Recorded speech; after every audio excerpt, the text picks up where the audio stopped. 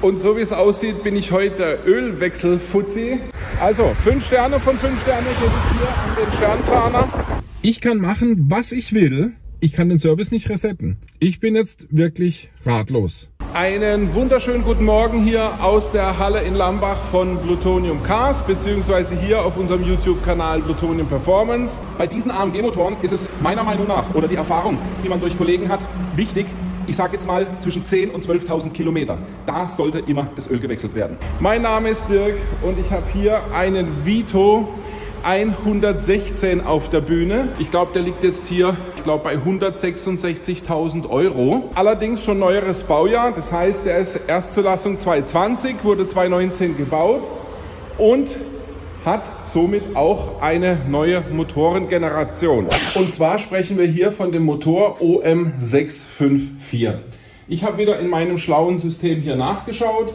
Es ist ganz wichtig, dass wir hier mit Ölfilter eine Füllmenge von 9 Litern haben und natürlich auch die Ölspezifikationen hier Mercedes-Benz 22951 oder 22952. Sind noch drei andere möglich, aber dieses 5.1er und 5.2er, das haben wir eigentlich hier gängig auf Lager. Und jetzt gehe ich noch mal raus zum Fahrzeug und zeige euch mal, wo sich der Ölfilter versteckt. Und zwar, so sieht der neue Motor hier aus. Ich kann euch vielleicht mal ein Bild von einem älteren Modell einblenden. Aber hier, das ist jetzt die aktuelle Motorgeneration. Und wenn ihr mal schaut, dieses Luftfilter-Ansaugkasten Teil hier, das muss man im Prinzip ausklipsen, hier an den Seiten. Einmal hier, einmal hier. Und wenn ihr mal hier unten schaut, hier kommt dann der Ölfilter zum Vorschein. Da kommt man eigentlich auch gut dran. Das heißt, man muss nur dieses Teil hier ausklappen und dann kommt man da wunderbar zu und kann hier dann den Ölfilter tauschen. Wie man das Öl ablässt, brauche ich euch nicht zu zeigen. Das will ich euch auch sparen. Ich habe einfach nur gedacht, weil ich dieses Fahrzeug hier gerade auf der Bühne habe und heute so einen Zusammenschnitt von verschiedenen Dingen hier in der Werkstatt mache, wollte ich euch einfach hier einen kleinen Einblick in den Vito geben. Ich zeige euch aber auch noch, was für den Vito wichtig ist. Einmal haben wir hier den Ölfilter. Da ist es am besten von Mercedes-Benz das Originalteil zu nehmen. Hier wäre die Nummer dann benötigt ihr auch unbedingt diese Plastikschraube. Das ist jetzt die alte, ich habe die neue schon drin, weil ich das Öl schon abgelassen habe. Wichtig ist natürlich, dass das Fahrzeug gut warm ist, so 40, 50 Grad vom Öl. Das ist perfekt zum Auslassen. Und eben hier diesen neuen Ölfilter mit samt dem Dichtring. Und das Ganze natürlich mit 25 Newtonmeter festziehen. Was ich auch noch bemerken möchte, diese kleinen Gummiadapterschläuche hier, ihr seht, die gehen ganz einfach weg. Die können gern auch mal hier an diesem Luftfilterkastel oder an diesem Luftfilterkastenansaugteil hier äh, sitzen und dann fallen die unten in den Motorraum rein. Also aufpassen, weil das wird ja nachher dann hier auf der Seite gehen dann diese zwei Stopfel sozusagen da drauf. Also darauf achten, dass diese zwei Gummis hier sauber sitzen und nachher diese zwei Öffnungen da wieder sauber reinkommen. Ganz wichtig. Und 9 Liter Öl kommen hier rein. 8 Liter habe ich schon drin, das ist der letzte Liter. Also 9 Liter bei Wechsel auch vom Ölfilter. So, das lassen wir jetzt noch schön austribbeln hier. So. Und ich benutze gern hierzu das Liquimoli. Das ist das 4200er 5W30 und wenn ihr mal genau hinschaut, hier unten stehen auch die Freigaben drauf. Da haben wir auch dann das 22951, 22952 für Mercedes-Benz Freigabe. Natürlich kann man dann auch den alten Ölfilter dann mal durchschauen. Das habe ich schon getan, ob irgendwelche Auffälligkeiten sind, Späne oder ähnliches. Und wichtig ist beim Ölfiltereinbau, dieses Teil kommt nach unten und den Gummi natürlich wechseln. Also hier das Gummiringerl am Einsatz, wo der Ölfilter reinkommt, muss natürlich auch getauscht werden. Und wie vorhin erwähnt, die Ablassschraube. Soweit zu dem Ölwechsel. Da ich jetzt an dem Fahrzeug hier ein Service B gemacht habe, möchte ich euch mal zeigen, mein Heller Gutmann Programm das ich benutze. Da habe ich dann immer die Möglichkeiten, eben über die Fahrgestellnummer und über den Typ vom Fahrzeug eben hier einen Inspektionsplan rauszulassen. Und ich arbeite das dann hier immer systematisch ab, hackel das alles ab und dementsprechend ist dann auch der Service B, in dem Fall jetzt hier, der Wagen hat 75.000 Kilometer gelaufen. Der zweite Service ist jetzt fällig gewesen oder wäre in zehn Tagen fällig gewesen. Und somit ist es nicht schlecht, wenn man das alles abhackelt und dann eben dem Kunden dazu gibt. Und so wie es aussieht, bin ich heute der Ölwechsel-Fuzzi. Der Vito ist fertig, den fahre ich jetzt von der Bühne und hole mir den ML63 AMG. Da machen wir auch einen Ölwechsel. Da werde ich euch auch die wichtigen Sachen sagen. Und, aber das machen wir jetzt erstmal.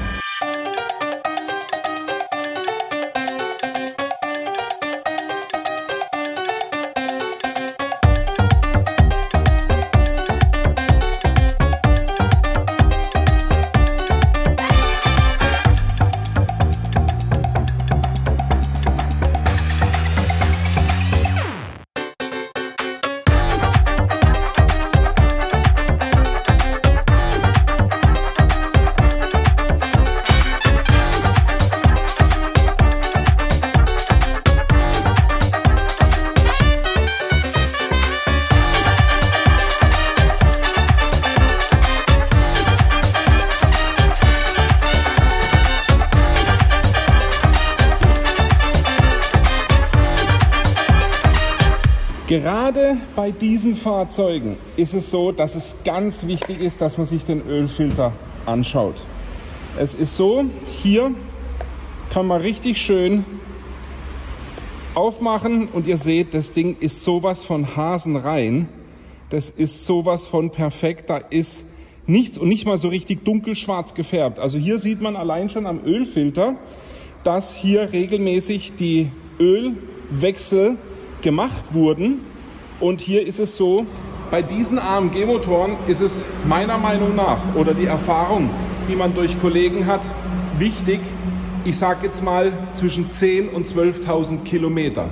Da sollte immer das Öl gewechselt werden. Natürlich nach Serviceintervall meiner Meinung nach in der Servicewerkstätte. Die sagen hier 20.000 Kilometer einmal im Jahr. Aber es kann ja sein, so wie bei dem Fahrzeug, dass mal richtig viel gefahren wird. Also hier 248.000 Kilometer, äh, Zulassung 2014 und da wurde viel mehr gefahren wie üblich, 15.000 Kilometer im Jahr. Was aber nicht schlecht ist, deswegen habe ich ja auch dieses Fahrzeug gekauft, weil wenn ein Fahrzeug Langstrecke gefahren wird, also ganz viel in hohen Gängen und Autobahn, Autobahn, dann ist es manchmal viel, viel besser, so ein Fahrzeug zu kaufen. Dann ist es viel, viel besser von der ganzen Technik noch in Ordnung, wie jetzt zum Beispiel ein Fahrzeug, das zwar 100.000 Kilometer oder 80.000 Kilometer drauf hat, aber nur in der Stadt in der Umgebung gefahren wurde, nicht richtig warm gefahren wurde und dann immer gib ihm schön hier brom brom, zeig zeig und so weiter. Das ist halt der große Unterschied. Und viele Leute verachten natürlich hier dass man eben auch ein gutes Auto mit einer hohen Laufleistung kaufen kann, wenn man hier eine gute Servicehistorie auch zugrunde hat. Die habt ihr ja gerade gesehen. Und das ist auch der Grund, warum ich dieses Fahrzeug angekauft habe. Es ist so, 248.000 Kilometer für einen M157 Motor ist kein Pappenstiel, aber bei dem mache ich mir hier überhaupt gar keine Gedanken. Und vor allem, wenn man den Neupreis sieht, das kann ich auch mal einblenden. Ich glaube, der liegt jetzt hier, kann sein, dass das Papier, was ich jetzt gerade gezeigt habe, was anderes gezeigt hat, aber ich glaube bei 166.000 Euro in 2014. Allein der Wertverlust, ja, das ist sensationell, aber mit der Laufleistung und dem Zustand komme ich in den Genuss, so einen ML63 AMG mal zu fahren, beziehungsweise den unserer Kundschaft günstig anzubieten. Wir bieten den aktuell um die 33.000, 34.000 Euro an, hier in Österreich. Und für Deutschland liegt er ungefähr bei 30.000 Euro. Also wir verkaufen das Auto circa um 30.000 Euro in Deutschland oder für Export. weil wir ja hier in Österreich auch ein bisschen die Nova rausrechnen können, also die Luxussteuer, die hier auf dem Fahrzeug drauf ist. Aber jetzt genug gesabbelt. Ich mache jetzt mal schnell den Ölwechsel und sollte mir noch irgendwas einfallen, was wichtig dazu ist, sage ich das euch. Das möchte ich noch ganz kurz festhalten, wenn ihr mal schaut. Der Ölfilter hier ist von Mahle und am 3.10.2022 wurde der hergestellt. Das passt auch super mit der Servicehistorie zusammen. Das heißt, wir haben hier einen aktuellen neuen Ölfilter verbaut. Das sagt mir auch, dass hier sauber gearbeitet wurde. Fahrzeug muss natürlich betriebswarm sein, das ist ganz wichtig. Ich habe das Fahrzeug draußen warm laufen lassen, bevor ich das hier auf die Bühne geholt habe. Habe jetzt hier schön aufgemacht, habe jetzt hier schön aufgemacht. Jetzt kann er von oben richtig auslüften, wenn ich unten aufmache. Nur kurz zur Anmerkung, die Ölablassschraube bei dem ML die sitzt hier unten. Unten ist wieder alles zu mit 25 Newtonmeter. Die Ölablassschraube mit einem neuen Kupferring festgezogen. Der neue Ölfilter ist drin. Der neue Gummi sitzt auch hier drauf. Jetzt lassen wir die Kiste runter und füllen das Öl ein. Auch hier wieder mein ML63 AMG und Motorkennung M157. Und hier unten sehen wir dann auch mit Ölfilter 8,5 Liter mit der Freigabe 229.5. Das haben wir gesehen, eben auf dem Mobil 1 Öl, was ich euch vorhin gezeigt habe. Und ich lasse mir hier auch wieder die Inspektionsdaten raus. Das heißt, jetzt ist ein Inspektion B fällig und hier habe ich dann meine ganzen Inspektionsdaten. Da wird dann praktisch von Bremsen, Außenbeleuchtung, Innenraumfilter, Kühlmittel, Reifen, Karosserieprüfen, Bremsflüssigkeit etc., Wasserablauflöcher. Das muss alles abgearbeitet werden. Das drucke ich mir jetzt aus und werde es dann auch Stück für Stück abarbeiten. One eternity later. Mit dem Service draußen bin ich jetzt soweit durch. Ich habe jetzt auch alles abgehakelt. Bei den Scheibenwischern, wie ihr seht, habe ich einmal mit unserem Spezialwerkzeug nachgeschnitten. So einen Scheibenwischer, den kann man zweimal nachschneiden, dann funktioniert der wieder super. Dann haben wir nagelneue Reifen draufgegeben, die waren komplett unten, glatzköpfig. Dann hier Serviceheft gibt es bei dem Fahrzeug nicht. Hier haben wir digitales Serviceheft. Das bedeutet, wir haben digital den Eintrag in die Mercedes-Benz-Datenbank eben für dieses Fahrzeug mit der Fahrgestellnummer und der aktuellen Laufleistung getätigt. Dann habt ihr ja ein Video gesehen gehabt, wir haben bei dem Fahrzeug auch den Ventilblock vorne getauscht. Und bei der Parktronik, da stimmt noch was nicht, da muss ich nochmal auslesen. Das ist eben noch nicht in Ordnung. Das haben wir noch hier vermerkt, das werden wir aber im Laufe der Zeit, solange das Fahrzeug noch bei uns ist, beheben. Und wen es interessiert, so einen wunderschönen ML63 AMG, sei es im Ausland, Deutschland, Bulgarien, Rumänien oder wo auch immer zu kaufen, dann könnt ihr uns gerne kontaktieren unter info at plutoniumcars.at. Das Fahrzeug für den Export kostet 30.000 Euro. Und hier in Österreich kostet das Fahrzeug 32.900 Euro. Sollte ein Österreicher daran interessiert sein. Wir können hier auf jeden Fall. Auf jeden Fall. Auf jeden Fall. Auf jeden Fall. Auf jeden Fall. Auf jeden Fall sagen, das Fahrzeug mit 240.000 Kilometer gelaufen ist wirklich in einem super Zustand. Dieses kleine Parktronik-Problem mit einem Sensor vorne, das werden wir noch beheben. Sollte da aber tatsächlich Interesse dran bestehen, dann einfach E-Mail an unser Office schreiben und dann können wir ja mal uns ganz gemütlich darüber unterhalten. Ansonsten mal schauen, was heute noch so passiert. 8 Liter habe ich schon drin und hier noch den letzten halben Liter. Das lassen wir auch wieder schön auslaufen. Haben alles durchgeschaut, dem Wagen neue Reifen verpasst. Ventilblock wurde hier neu eingebaut. Bei der Parktronik müssen wir noch dran. Da haben wir irgendeinen Fehler, die setzt verzögert ein. Sie geht, aber sie piept erst und dann setzt sie verzögert ein. Und ansonsten haben wir das Fahrzeug alles durchgeschaut, von Bremsflüssigkeit, Kühlflüssigkeit, Wischwasser, Bremsbelege, Bremsscheiben, alles noch super, Unterboden, alle Gelenke angeschaut, also den ganzen Serviceplan abgearbeitet. Ja, wie gesagt, 8,5 Liter und die Möhre ist dann auch fertig. Und Leute, ich habe noch ein tierisches Problem mit dem Vito. Ich wollte den Gesamtservice zurücksetzen. Ich hoffe, dass jemand hier das Video sieht, der sich auch mit der Star-Diagnose, mit dem Xentry oder beziehungsweise mit Mercedes oder Mercedes Vito auskennt. Ich habe nämlich folgendes Problem. Wenn ich mit der Star-Diagnose dieses Fahrzeug auslesen möchte, bleibt er mir bei den abgasrelevanten Daten hängen. Ich komme mit dem Excentri praktisch überhaupt gar nicht hier in das Fahrzeug rein. Das nächste ist, ich kann den Gesamtservice nicht zurücksetzen. Das zeige ich jetzt mal kurz und vielleicht schaut jemand zu, der mir helfen kann und bitte schreibt mir das in die Kommentare, was ich hier tun kann. Also, ich stecke ganz brav den Schlüssel hier, gehe auf Zündung Stellung 1. Ich bin hier jetzt ganz brav auf dem Kilometerstand und ich halte jetzt die Telefontaste und die OK-Taste für eine Weile gedrückt. So, jetzt hat er umgeschaltet und jetzt gehe ich runter auf Assist Plus, gehe auf OK, gehe auf Gesamtservice und ab jetzt geht die Kacke los. Ich drücke auf Gesamtservice, sage bestätigen OK. Wähle auch hier mein richtiges Öl aus, das passt auch. Gehe auf OK. So, und jetzt gehe ich auf Bestätigung und er sagt Gesamtservice nicht durchgeführt. Ich kann machen, was ich will. Es ist so, dass er mir jedes Mal den Service rausschmeißt und ich kann den Service nicht resetten. Und mit der Star-Diagnose, also mit dem Xentry, bin ich genauso ratlos, weil er bleibt mir hier bei abgasrelevante Daten hängen. Das heißt, ich komme gar nicht rein, weil sonst könnte ich es vielleicht mit der Xentry zurückstellen. Ähm, ja, ich bin jetzt wirklich ratlos. Ich brauche hier wirklich Hilfe. Ich weiß im Moment mal wieder, das gibt's ganz selten, nicht weiter. Und ich habe ehrlich gesagt keinen Bock, zu Mercedes zu fahren um hier wieder irgendwelches Geld auszugeben, bloß weil ich den Scheiß hier nicht zurückstellen kann. Also, ich brauche Hilfe. So viel später, dass es dem alten Erzähler zu blöd wurde und man einen neuen anstellen musste. Ja, meine Lieben, es hat ein neuer Tag begonnen.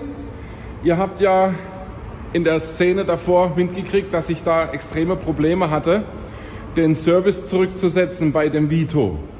Es ist tatsächlich so, Mercedes-Benz will bei den neuen Fahrzeugen, also neueres Baujahr, E-Klasse, S-Klasse, Vito, also W447, dass eigentlich nur noch eine Mercedes-Werkstatt hier den Service zurückstellen kann und keine andere Werkstatt mehr das tun kann. Das ist natürlich übel, weil was ist, wenn das Auto zwei Jahre alt ist und ich will das in eine freie Werkstatt nach der Garantie zum Service geben und ich kann nicht mal den Serviceintervall über diesen Assist, also über diese Lenkradfunktion zurückstellen, weil es einfach nicht geht, weil das Fahrzeug eben die Online-Anbindung an den Mercedes-Server will und es geht nur in der Mercedes-Fachwerkstatt. Also da schreibt mir mal bitte in die Kommentare rein, ob das so in Ordnung ist und ob das auch rechtens ist und ob ich das auch so richtig sehe. Aber Fakt ist, das ist so, weil, und da fahre ich jetzt gleich hin, ich bin zu einem Mercedes-Händler hier in der Gegend gefahren und bin super nett bedient worden. Der Meister in der Werkstatt hat sich die größte Mühe gegeben. Der hat bestimmt fünfmal das Steuergerät in Betriebnahme genommen. Der hat bestimmt zehnmal versucht, eine neue Software aufzuspielen und, und, und. Und jedes Mal, wenn dann eben Intervall 40.000 Kilometer und nach circa 10 Minuten auf einmal stand da im Cockpit drin, Service fällig seit 2048 Tage. Ich meine, so kann man kein Auto verkaufen. Ja, und die haben sich jetzt dem Problem heute Morgen angenommen. Der Chef von dem Mercedes Autohaus, der war auch so super nett, hat mir eine A-Klasse als Mietfahrzeug schnell mitgegeben, so gerade spontan hat ja gesagt, Autofahren kannst du, hier, lass dein Auto da, wir erledigen das. Und das haben sie heute Morgen gemacht. Ich habe jetzt den Anruf bekommen, dass ich das Auto holen kann. Jetzt fahre ich mal dahin. Vielleicht kriege ich das ein oder andere Kommentar von dem Servicemeister hier auf die Kamera. Also, seid gespannt, was jetzt passiert. Gute Nachrichten. Ich bin jetzt hier bei Mercedes in Vöcklerbruck beim Schantaner und ich bin wirklich begeistert von dem Laden. Ich habe jetzt 70 Euro brutto bezahlt. Es ist so, dass ich doch ähm, hier das nicht ganz auf Kulanz bekommen habe. Aber es ist neuerdings ein Steuergerät verbaut und zwar Antriebsstrang. Das ist ja noch nicht so lang wirklich bei den Mercedes-Benz Geschichten mit drin, dass das Zusammenspiel mit Kombi-Instrument eben hier den Assist Plus Modus. Ich weiß, das ist jetzt etwas höhere Mathematik, etwas kompliziert, aber es ist tatsächlich so, dass eben hier der Service eingetragen wird und es spinnt aktuell laut Mercedes Server ab und zu mal rum und dann muss man das Steuergerät neu in Betrieb nehmen. Das muss man alles bei Mercedes machen. Da muss eine Online-Anbindung über die Star-Diagnose da sein und man muss dann immer Rapport schreiben, warum, weshalb, wieso nimmt man das Steuergerät neu in Betrieb und muss dann eben da an Mercedes eben die Message schicken, aus dem und dem Grund, Service lässt sich nicht zurücksetzen und so weiter. Also, ich habe jetzt hier eine Rechnung bekommen, das sind 69,60 Euro. Die werde ich überweisen, das war es mir wert. Und ich bin hier von dem Autohaus Scherntana. Muss mich korrigieren, Autohaus Scherntana.